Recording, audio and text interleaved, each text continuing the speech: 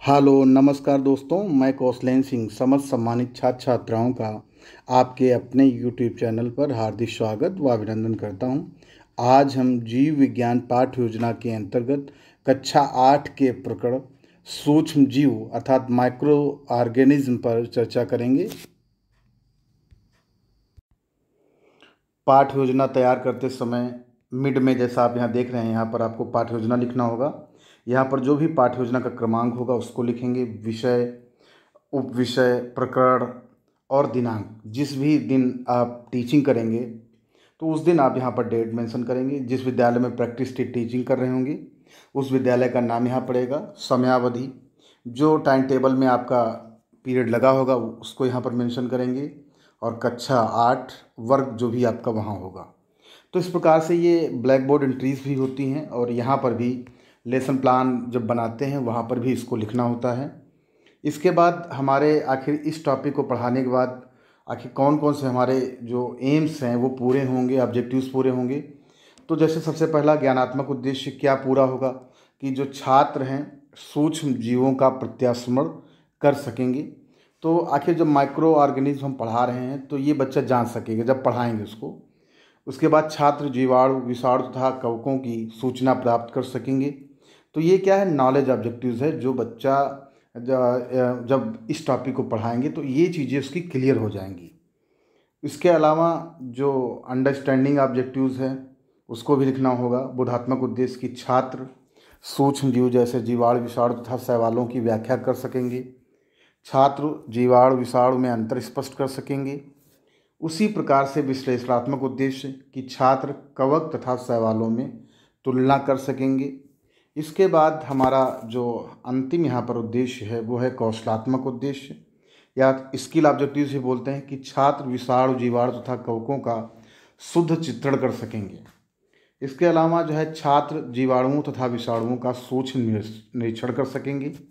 जो टीएलएम के लिए यहाँ बात की जा रही है तो जीवाणु या कवक चित, का बना हुआ एक जो चार्ट है, वो वहाँ पर आप लगाएँगे।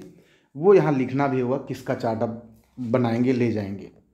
इसके बाद आता है हमारा पूर्व ज्ञान। तो पूर्व ज्ञान के बारे में जैसा इसमें लिखा हुआ है, हम लिखेंगे भी कि छात्र विभिन्न प्रकार की बीमारियों, जैसे हैजा, टाइफाइड, क्षय रोग, टीबी, ट्यूबरकुलोसिस तथा सर्दी जुकाम से अवगत हैं। अब खासकर इस टॉपिक को डेवलप कराने के लिए, इस पाठ का विकास करने के लिए हमें प्रस्तावना प्रश्न बनाने होंगे, जिसे इंट्रोडक्टरी क्वेश्चन भी कहते हैं। और heart of teaching heart of lesson जो है इंट्रोडक्टरी क्वेश्चन ही होते हैं। तो शरीर को ऊर्जा देने के लिए हम क्या करते हैं, ये हम प्रश्न पूछेंगे। सबसे पहले जो पीपल टीचर होगा वो पूछेगा, वो लिखेंगे यहाँ पर। जो हम एक्सपेक्ट करते हैं कि बच्चा स्टूडेंट जो है आंसर देगा तो ये यहाँ है कि शरीर को ऊर्जा देने के लिए हम भोजन करते हैं। दूसरा है खाने में हम क्या क्या खाते हैं? खाने में हम दाल, सब्ज़ी, चावल, रोटी आदि खाते हैं। अगला है यदि खाने को हम दो दिन तक रख दें तो क्या हो जाएगा? तो खाने को दो दिन हम रख दें तो खाना क्या हो जाएगा? ख़राब हो जाएगा। तो ये बच्चा आंसर देगा। अब फिर उसके बाद आंसर आएगा कि आखिर जो खाना है, किस कारण ख़राब होता है? तो ये समस्यात्मक बच्चा आंसर दे भी सकता है कि सर फफूदी लग जाएगी, ये हो जाएगा, वो हो जाएगा। तो हम स्टेटमेंट ऑफ़ द एम, क्योंकि हमें टॉपिक क्या पढ़ाना है? सूक्ष्म जीव। तो छात्रों, आज हम सूक्ष्म जीवों जैसे जीवाणु विषाणु तथा कवक इत्यादि के बारे में अध्ययन करेंगे। बिल्कुल आप बोल देंगे स्पष्ट इसी रूप से। इसके बाद हमारा जो है प्रेजेंटेशन होगा। प्रेजेंटेशन के अंतर्गत जैसा आपको पता है कि यहाँ प्रस्तुतिकरण लिखेंगे, मुख्य शिक्षण बिंदु। कितने आपको लिखने हैं, कितने आप पढ़ा पाएँगे थर्टी फाइव मिनट में या फोर्टी फाइव मिनट में। तो यहाँ जैसे दो टॉपिक लिए गए हैं कि सूक्ष्म जीवों द्वारा उत्पन्न रोग और संक्रमण की प्रक्रिया। ये दो टॉपिक जो है पॉइंट्स क्लियर होंगे इस पूरे फोर्टी फाइव मिनट में थर्टी फाइव मिनट में। इसके बाद जैसे यहाँ पर मुख्य शिक्षण बिंदु कैसे लिखेंगे, उसको भी यहाँ देखना है। मुख्य शिक्षण बिंदु पहला जो हमारा है, वो है सोच, जीवों द्वारा उत्पन्न रोग तो इससे संबंधित हम विकासात्मक प्रश्न भी एक दो पूछेंगे, क्योंकि हमें पाठ का विकास भी करना है। बच्चों को सिर्फ़ सुनते ही नहीं रहना है, बच्चों को बीच बीच में हमें क्वेश्चन भी पूछना है, जिसे बोलते हैं पाठ का विकास करना। तो यहाँ पहला प्रश्न जो पूछा जा रहा है कि जब हम गं गंदगी में खेलते हैं तो क्या होता है? तो हम बीमार हो जाते हैं। हम बीमार क्यों हो जाते हैं? हम जीवाणु विषाणु के संक्रमण से बीमार हो जाते हैं। अगला है आ, कि अब हमें क्या करना है? सूक्ष्म जीवों द्वारा उत्पन्न जो रोग हैं उसका स्पष्टीकरण देना है। जैसे यहाँ पर दिया है छात्राध्यापिका कथन। तो ये स्पष्टीकरण भी हुआ एक्सप्लेनेशन जिसे बोल सकते हैं। तो क्लैरिफिकेशन भी कह सकते हैं कि सूक्ष्म जीव सर्वव्यापी हैं तथा जीवधारियों के जीवन को प्रभावित करते हैं। सूक्ष्म जीव मनुष्यों कुछ जंतुओं तथा पौधों में रोग उत्पन्न करते हैं। जैसे हैजा जीवाणुओं द्वारा फैलता है, सर्दी, जुखाम विषाणु जनित है। तो इस प्रकार सूक्ष्म जीवों द्वारा उत्पन्न रोग को हमने स्पष्ट कर दिया। बताया कि कौन कौन सा रोग किस किस के द्वारा होता है, किस माइक्रो ऑर्गेनिज्म के द्वारा होता है। अब हम दूसरे टीचिंग पॉइंट की बात करेंगे, जैसे यहाँ सामने दिया है कि संक्रमण की प्रक्रिया। तो इससे संबंधित हम दो प्रश्न पूछेंगे। तो यहाँ पर कुछ बीमारियों के नाम बताओ। तो यहाँ पर जैसे आपने देख रहा है कि बच्चा कहेगा कालरा, टीबी, सर्दी, जुखाम इत्यादि। अब हम फिर उसके बाद, फिर प्रश्न पूछेंगे कि सर्दी, जुखाम किससे फैलता है? तो बच्चा कहेगा सर्दी, जुखाम जो है, रोगी के संपर्क में आने से फैलता है। तो अब यहाँ पर हम स्पष्टीकरण देंगे, आखिर इसकी संक्रमण प्रक्रिया क्या है, क्यों फैलता है?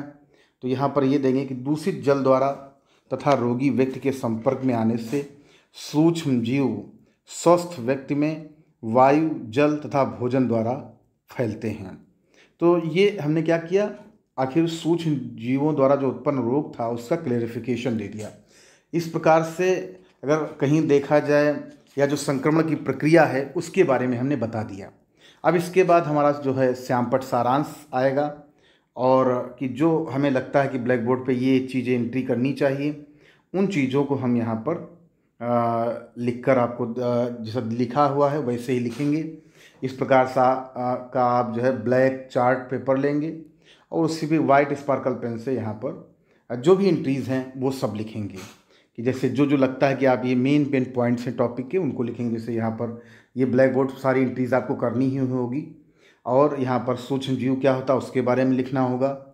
इसके अलावा सूक्ष्म जीव, जीवों द्वारा संक्रमण कैसे होता है, ये भी आपको लिखना, वायु द्वारा भी होता है, जल द्वारा भी, दूषित भोजन द्वारा भी होता है। तो वो मेन मेन चीज़ें आपको ब्लैक बोर्ड जो समरी है, उस पर लिखना होगा। इसके बाद राइटिंग एंड सुपरविजन वर्क होता है, लेखन एवं निरीक्षण कार्य।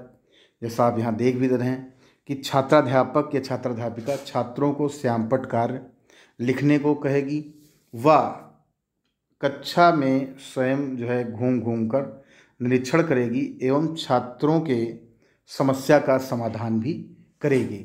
इस प्रकार से जो step by step lesson planning की है, हम उस पर बात कर रहे हैं और वही करा रहे हैं कि ब्लैक बोर्ड समरी के बाद राइटिंग एंड सुपरविजन वर्क और उसके बाद जो है रिकैचुलेटरी क्वेश्चन अर्थात पुनरावृत्ति प्रश्न भी आएँगे। पुनरावृत्ति प्रश्न जैसा आपके सामने यहाँ पर दिया हुआ है पहला। पुनरावृत्ति प्रश्न इसलिए भी पूछे जाते हैं क्योंकि जो हमने फोर्टी फाइव मिनट्स में या थर्टी फाइव मिनट में जो टीचिंग की है उसका इम्पैक्ट बच्चों पर कितना पड़ा है? बच, वो असेसमेंट है। तो यहाँ पर जो हमने पढ़ाया, उसी संबंधित हम जो चार पाँच क्वेश्चन हैं, जैसा आप यहाँ देख रहे हैं, पाँच क्वेश्चन दिए हुए हैं तो उनको पुनः फिर बच्चों से पूछेंगे और उसका आंसर भी जानने का प्रयास करेंगे, जिससे यह जान सके कि बच्चों को जो हमने पढ़ाया है, वो कितना बच्चों को याद हो सका है। इसके बाद हम अगले दिन के लिए बच्चों को कुछ काम देते हैं। आखिर गृह कार्य जिसे होम असाइनमेंट भी बोलते हैं। तो होम असाइनमेंट में जैसा आप देख रहे हैं यहाँ पर कि पाँच छः क्वेश्चन दिए गए हैं। अगले दिन बच्चों को वो कार्य करने के लिए कहा है करके लाएँ। तो उसको आप देख रहे हैं पहला क्वेश्चन ऐसे टाइप भी हो सकता है फिल इन द ब्लैंक्स भी हो सकता है। आपका यहाँ पर जैसे ए बी ऑप्शनल भी हो सकता है। कोई भी टाइप का आप लेकर अगले दिन के लिए बच्चों को एक इंगेज रखना, व्यस्त रखना एक ये भी उद्देश्य होता है।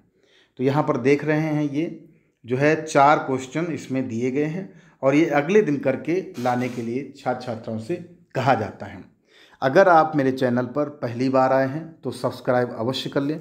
अगर आपको मेरा वीडियो पसंद आया हो तो लाइक शेयर ज़रूर करें व बेल आइकॉन को ही प्रेस कर लें, जिससे आपको मेरे नए वीडियो का नोटिफिकेशन व एजुकेशनल अपडेट सबसे पहले मिल सके।